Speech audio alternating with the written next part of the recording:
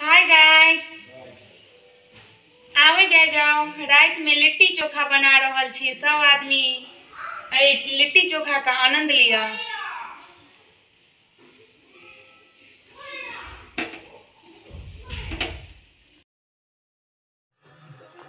तो गैज़ मैं आप लोग को पहले मैथिली में बात की हूँ, फिर अब आ गई हूँ हिंदी पे, क्योंकि बहुत से सब्सक्राइबर ऐसे भी हैं जो मैथिली नहीं समझते होंगे।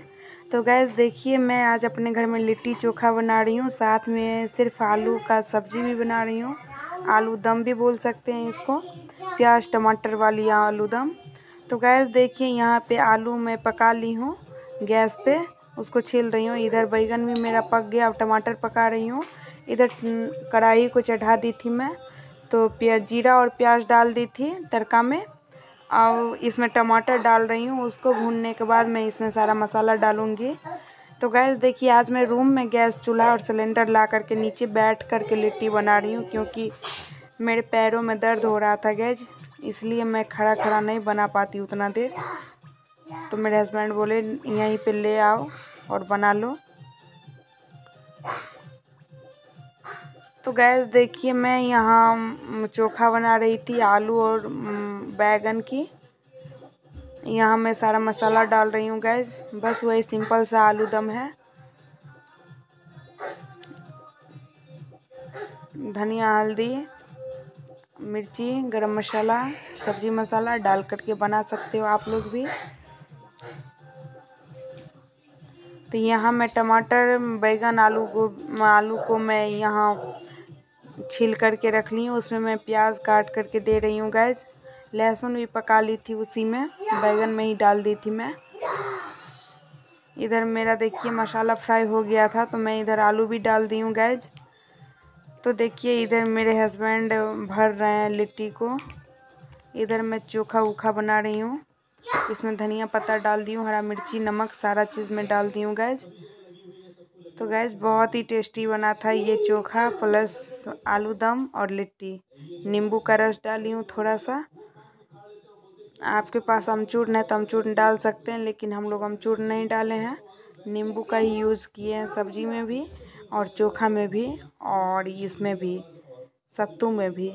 तो गैस देखिए, मेरा सब्ज़ी में, मेरा सब्ज़ी हो गया था फ्राई तो मैं उसमें डाल रही हूँ पानी, डाल दी हूँ। गैस बहुत ही टेस्टी लगेगा इस सब्ज़ी के साथ लिट्टी खाने में।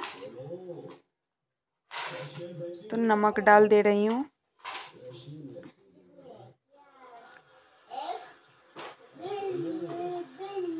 इसको चला करके देख रही हूँ तो ज़्यादा मतलब पानी नहीं ना हो गया। गैस पानी ठीक है। इसको थोड़ा खोलने दूँ, उबलने दूँगी। इधर इधर लिट्टी भी फ्राई हो रहा था। देखिए मेरा सब्ज़ी हो गया था, मैं इसमें धनिया पत्ता डाल रही हूँ। थोड़ी सी नींबू निचोड़ूँगी। थोड़ी सी नींबू निचोड़ने के बाद मैं इसमें थोड़ी सी सब्ज़ी मसाला डालूँगी। देखिए गाइज़ मैं इसमें थोड़ी सी सब्ज़ी मसाला डालूँगी।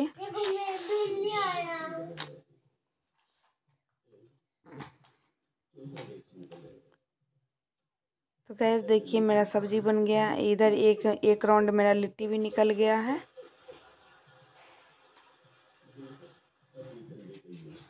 तो गैस मेरे हस्बैंड को चोखा के साथ लिट्टी पसंद है और मुझे ये आलू दम के साथ लिट्टी पसंद है। इसलिए दोनों चीज़ बनाई हूँ। इसलिए चोखा ज़्यादा नहीं बनाई हूँ। तो गैस देखिए हम दोनों मिल करके कैसे बना रहे हैं लिट्टी। आप लोग भी आइए, जल्दी से टेस्ट करके बताइए कैसा बनाई हूँ। फिर मैं इसमें सब्ज़ी मसाला डाल दी हूँ गैज अब मैं इसको बंद कर दूँगी, इस गैस को ऑफ़ कर दूँगी और सब्ज़ी को पलट लूँगी। जब तक मेरे हस्बैंड यहाँ पे लिट्टी तलेंगे, तब तक मैं सारा बर्तन धो लूँगी। बाय